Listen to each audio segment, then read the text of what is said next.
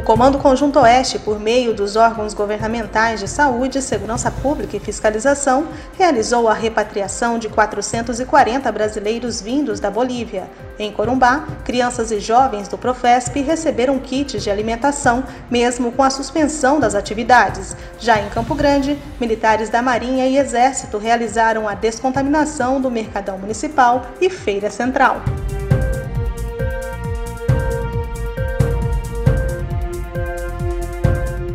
O Comando Conjunto Nordeste tem realizado ações de desinfecção de locais públicos.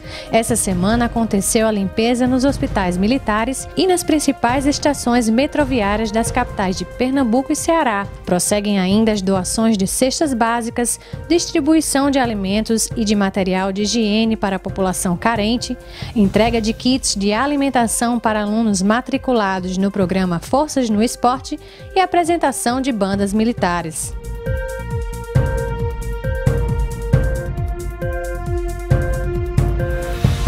Comando Conjunto Norte ultrapassou o mês de medidas ativas contra a Covid-19, atuando em hospitais e asilos dos estados do Pará, Amapá e Maranhão, que receberam higienização para mitigar a propagação do vírus.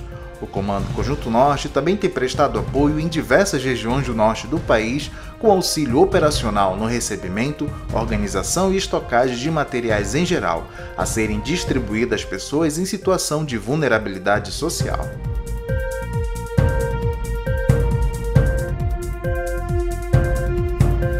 Mais uma semana de operação Covid-19 e as tropas do Comando Conjunto do Sudeste são desdobradas para realizar a desinfecção de locais com grande circulação de pessoas e prosseguem nas ações humanitárias em prol da sociedade paulista e paulistana. Caracterizando a disponibilidade permanente dos militares, equipes trabalham na desinfecção de locais importantes como hospitais, praças e terminais rodoviários. O Comando Conjunto do Sudeste continua com a campanha voluntária de doação de sangue, mantendo o estoque dos hemocentros.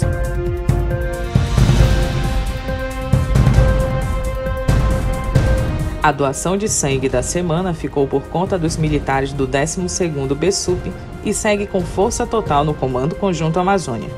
Cabe ainda destacar o repasse de equipamentos de proteção individual para a 1 Brigada de Infantaria de Selva e a entrega de kits de alimentação pelo Parque 12 para famílias necessitadas. Esses foram os destaques do Comando Conjunto Amazônia.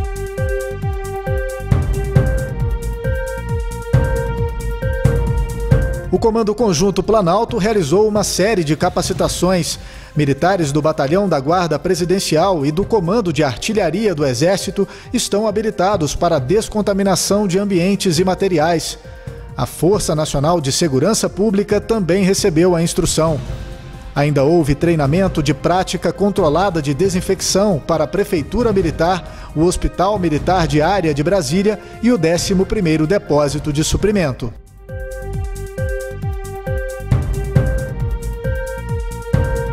Mesmo no feriado, as ações do Comando Militar do Sul não param. Nessa semana, mais de 600 refeições foram produzidas e entregues a comunidades carentes no município de Farroupilha, na Serra Gaúcha.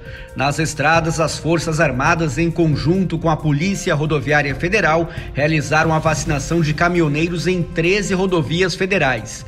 Também, durante a semana, o ministro da Defesa, general Fernando Azevedo e Silva, acompanhou o carregamento de cestas básicas transportadas para a região central do Rio Grande do Sul e também o trabalho permanente de desinfecção no entorno de hospitais.